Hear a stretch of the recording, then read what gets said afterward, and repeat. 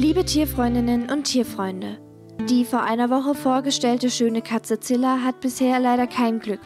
Für sie hat sich noch niemand interessiert. Tierheimleiterin Katrin Mattes ist sich allerdings sicher, dass die Katzendiva noch ihren neuen Menschen finden wird.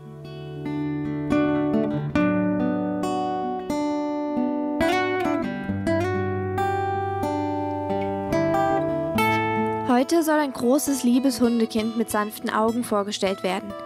Die Bernhardinerhündin Anka kam Mitte Dezember aus einer schlechten Haltung in die Arche.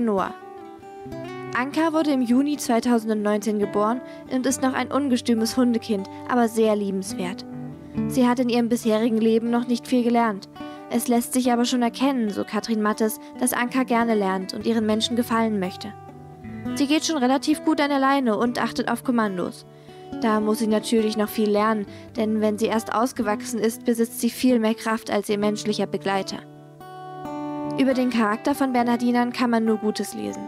Sie gelten als zuverlässig, liebevoll und sanftmütig, auch zu Fremden. Etwas dickköpfig können sie sein, aber wer ist auch schon perfekt? Bernhardiner brauchen engen Kontakt zu ihren Menschen und der Familie.